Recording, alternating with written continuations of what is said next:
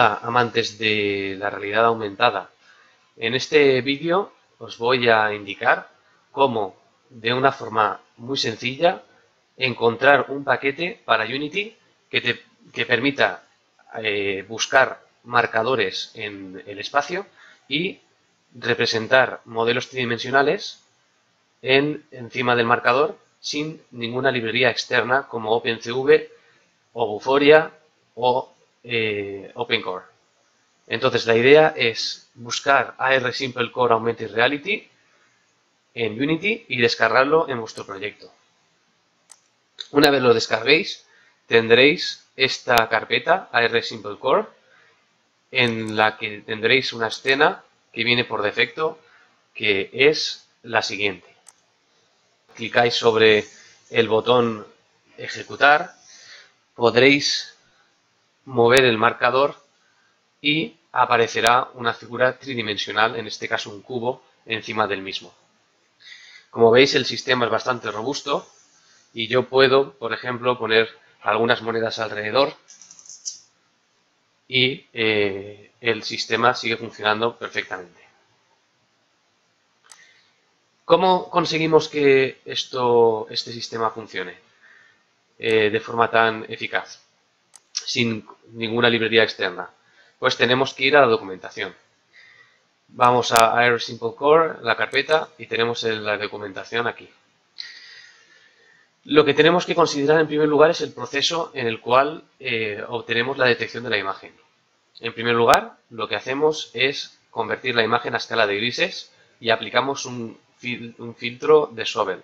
El filtro de Sobel lo que consigue es obtener la detección de los bordes de la imagen. En este caso, como veis, obtenemos las líneas que separan el marcador del fondo. A continuación aplicamos la transformada de Huff. La transformada de Huff permite obtener lo que sería la pendiente y la ordenada de las rectas que configuran los bordes. Estas pendientes y eh, estas ordenadas se representan en el espacio de Huff por teta, que sería las coordenadas horizontales, que se corresponde con un ángulo, y rho, que sería eh, la distancia que existe desde este punto de aquí, ¿de acuerdo? Hasta cada uno, desde este punto que sería el vértice, hasta cada uno de, estas, de estos píxeles. Una vez hemos obtenido la transformada de Hub, aplicamos un proceso de dilatación para obtener las diferentes líneas, como veis aquí. Luego aplicamos un proceso de etiquetado en el cual detectamos cada una de las regiones y finalmente obtenemos las líneas, como veis aquí, que representan eh, los bordes del marcador. Una vez hecho esto, buscamos las intersecciones de los pares de las rectas para obtener los puntos y finalmente aplicamos el proceso de estimación de la pose en este caso de la posición del modelo tridimensional. Vamos a verlo en directo, es decir, en un caso concreto. ¿Cómo funcionaría el paquete? En primer lugar, en el AR Core lo que podéis hacer es seleccionar diferentes modelos tridimensionales. Por ejemplo, si yo selecciono esto y desactivo esto, puedo, puedo hacer que aparezca un helicóptero y luego puedo hacer que funcione el tracking también. Funciona un poquito mejor si no tenemos nada que moleste en la escena. ¿De acuerdo? Pero como veis funciona en tiempo real. A veces falla, pero es debido al hecho de que eh, las rectas a lo mejor se ponen completamente paralelas a la imagen y es complicado buscar los, máximos en la transformada de Hub. Pero bueno, por lo general es una, es una buena solución que es bastante estable. Dentro de los modelos tridimensionales, por ejemplo, podemos eh, cambiar el modelo por, un coche de policía, como veis aquí. Podemos incluso quitar los ejes para que no nos molesten. Entonces esa sería un poquito la idea. ¿De acuerdo?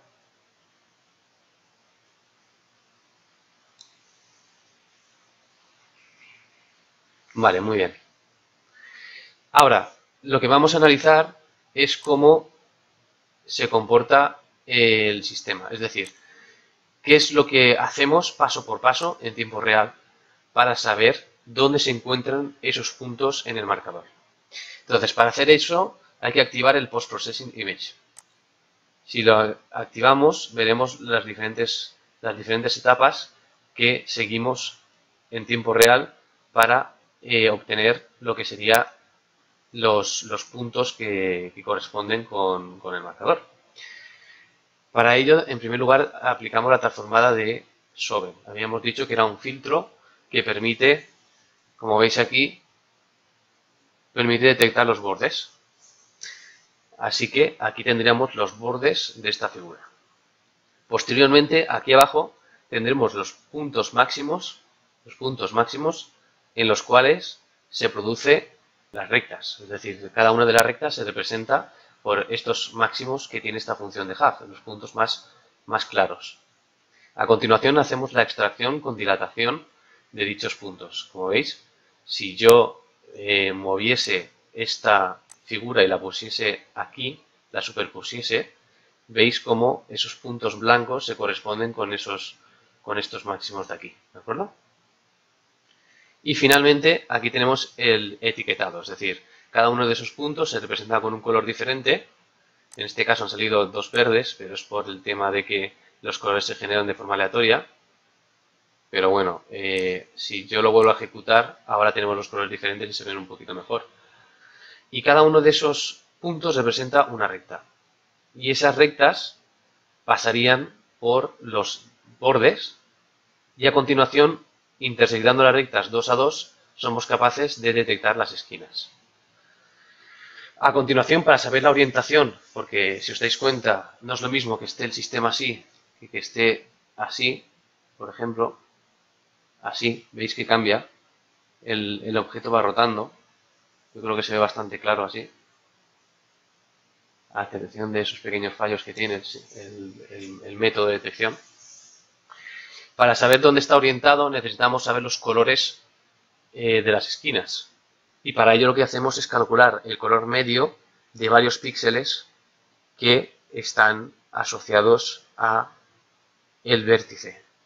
Es decir, trazamos una línea desde cada uno de los de los de las esquinas hacia el centro y analizamos los píxeles que se, se tienen en una región. Y con ello pues somos capaces de detectar si el punto es eh, azul, si es verde, si es rojo o si es negro. Vamos, a ver rápidamente un poco del código para el cálculo de lo que viene a ser la posición, la, la pos. Entonces en los scripts veréis que tenéis un código que es para obtener la imagen y un código que es para tratar esa imagen y obtener el objeto tridimensional vamos a ver cómo obtenemos el objeto tridimensional y su posición en el espacio. Muy bien. Pues, eh, en primer lugar, vamos a R Simple Core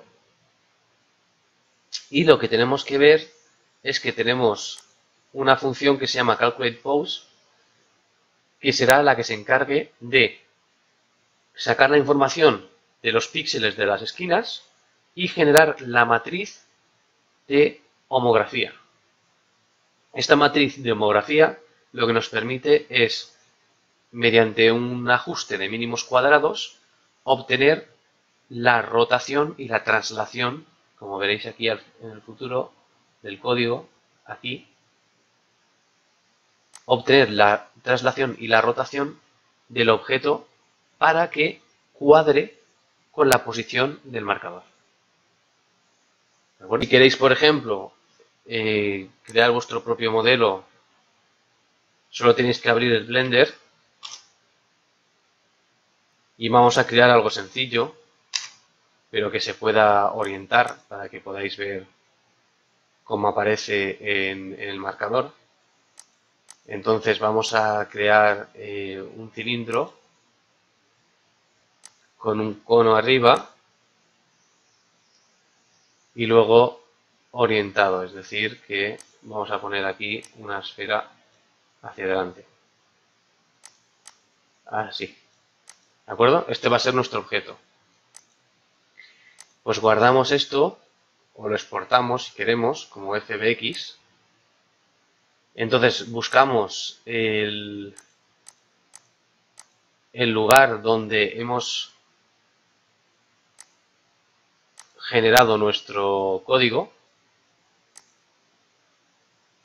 y guardamos en una carpeta que sea eh, modelos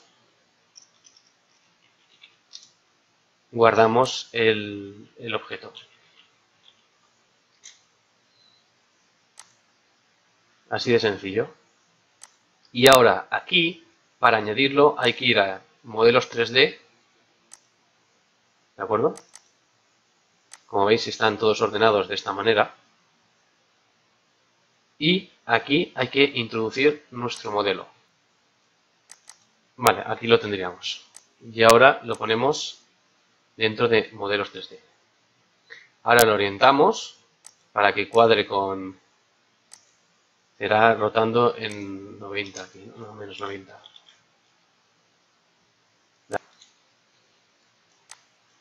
Vale, entonces si diésemos al play, Ahora tendríamos nuestro objeto eh, tridimensional que hemos creado, que lo podremos rotar. Así que recordar, se llama Iris Simple Core y es una solución independiente para Unity para realizar tratamiento de imagen y estimación de pose o estimación de la posición de un objeto tridimensional en el espacio, con realidad aumentada por supuesto. Muchas gracias por ver este tutorial.